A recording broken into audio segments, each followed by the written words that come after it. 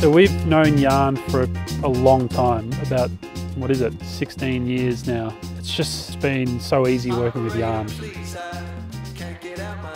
I love working with Jan. He's, he's a friend and also someone I respect enormously musically. Um, a bit like an extra member of the band in a way, in, in that sense, as, a, as an overseer. Jan is a producer and an engineer and a musician, so he kind of uh, he wears a lot of hats.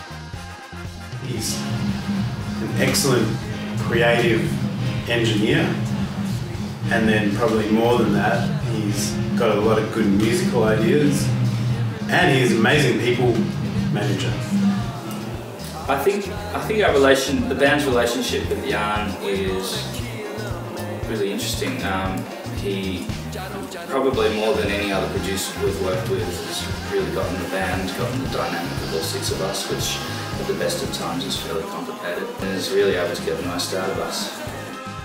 Here we are, three albums down the track, having made you know, incredible Cat Empire records with him.